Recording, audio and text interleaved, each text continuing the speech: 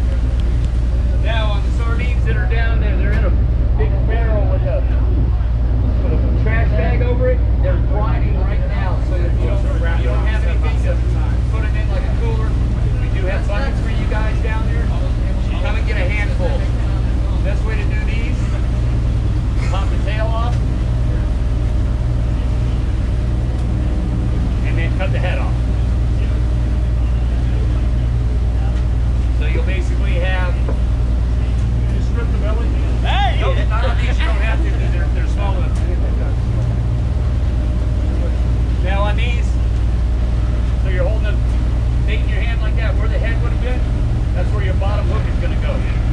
Like that, top hook, basically right up on his tail, it'll actually sit just like that. And that's the whole thing. Now these fish don't hit hard, they kind of chew. When you feel any kind of nibble, you just want to start reeling. Don't swing at them because you're going to be too deep in water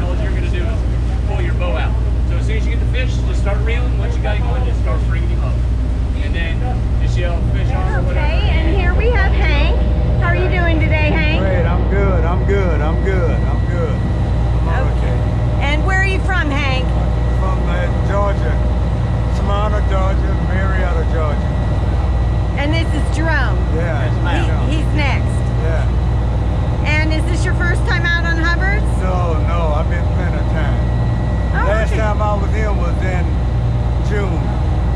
In I was with Jerome, me, and my brother. But unfortunately, my brother's not here now. He passed in July. So I'm here, we dedicating this trip to him. Oh, that's so, sweet. And when, when they interviewed him, he said he wanted to catch a grouper by Biggest Moby Dick. So I'm out here to catch a grouper for him um, today. We, we honored him today. It's the trip. It's what this trip is all about. Well, that's awesome. That's sweet. And I hope you catch that grouper yeah, for him, too. too. I'm going to give my best shot. Okay.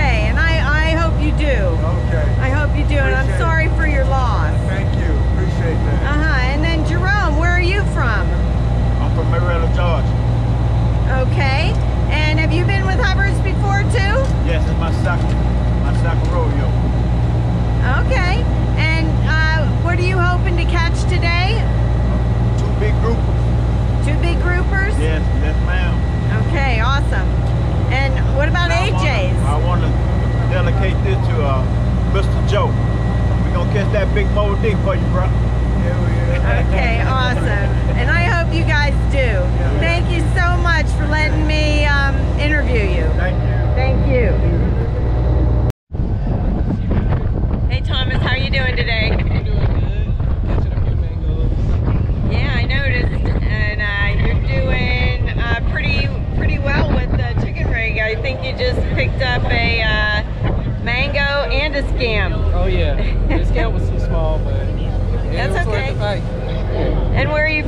Thomas? Fort Lauderdale. Fort Lauderdale. Okay. And I know you've been here before because I've fished with you before. Yes, Yeah. it's my second time. Okay, awesome, awesome. And uh, what uh, are you looking to catch today? I'm looking for that scamp, if possible, and amberjack early in the day, like tomorrow morning. Okay, awesome, awesome. And uh, what's the biggest fish you ever caught? Uh, actually, uh, tarpon. It was like a hundred plus pounds. Oh, wow. Okay. Oh, wow. Was that over here or in Fort In Lauderdale? Fort Lauderdale. Oh, okay. Do you like fishing over here or Oh, yes. Fort Lauderdale better? boat, Actually, I love this boat. Okay, awesome. I recommend it. Okay, awesome. Thank you, Thomas, for letting me interview you. Thank you. Tight lines. And Thomas got another mango. Nice one. Good job. Thank you.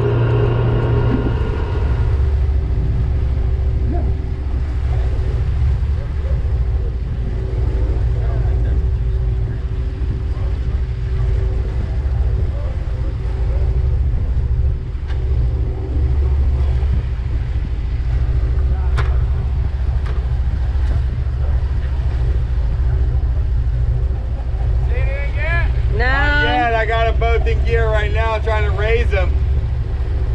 That's amazing. He's deep. With the boat being in here the whole time. What's it like coming onto the reel? Is it tough? Is it heavy? Oh, I saw something. I saw color. There's color. Oh yeah, we got color. There it is. Might be a wahoo. Deep color. Yeah. Got shoulders. Whoa. Okay, we're placing bets now. Whoa. No, no, no. Yeah, I think it is an AJ. Whoa. No. That's a wahoo. That's a wahoo, yeah. Look at all that. Whoa! Yeah! Woohoo! Get it, Joe!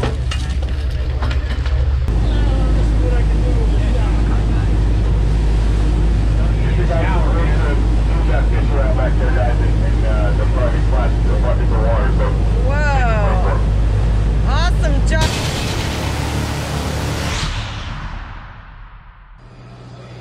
Good morning, guys. Captain Dylan Hubbard here at Hubbard's Marina. Captain Garrett and the boys just got back in from their 39 hour adventure. Uh, nice, huge pile of fish mangrove snapper, porgies, yellowtails, lanes, vermilions, and some nice amberjack, plus a big old wahoo in the 45 50 pound range caught on a nomad trolling lure. Uh, so looks like you guys killed it, huh, Garrett? We had a good trip. It um, the bite was on. Well, the bite was steady the whole trip. We caught fish on every single spot, and um, even with the, the regulations that we're faced with, we put a really nice catch together. The mangroves cooperated through the night, um, and then once uh, sunlight, daytime came, we went and got the big vermilions, porgies, um, got a handful of jacks. Probably could have gotten a few more, and it was just steady everywhere we went. We got we caught fish everywhere we went. That's awesome, man.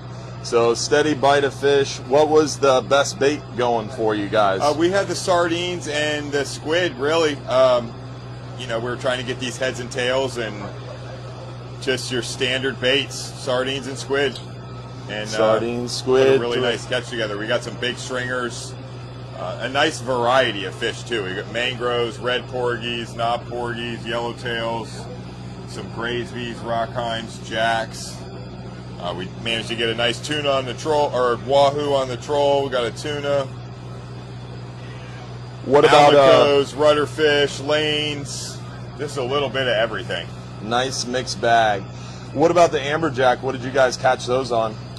Uh, I saw some come up on jigs. Uh, a hand, handful of guys caught, had some live baits. So that was also a, a mixture. And then we had a lot of almacos. Those came up on the squid and the jigs. Nice. That looks like a killer trip. What about the mangrove bite? Was it solid on the dead bait? A little bit of both. on the dead bait, and uh, it was you know we'd pull up on a stop, we'd start fishing, and it'd be on fire for about 10 to 15 minutes, and it shut off. And that was the case the entire trip. There wasn't one spot where it did not happen. But as long as you had your lines in the water those first 15 minutes, you'd capitalize. I mean, it was just really fired off and then shut off as just as quick as they started. So just a slow, steady pick after Yeah. that first 15, Yeah. 20 minute fire. That's cool, man. Well, I appreciate your time, Garrett. Thanks, man. Yeah, no problem. Well, looks like a stellar catch of fish. A super light load of people. Looks like they did extremely well despite that light load. Huge catch. Definitely awesome. That 39 hour trip's been doing really well.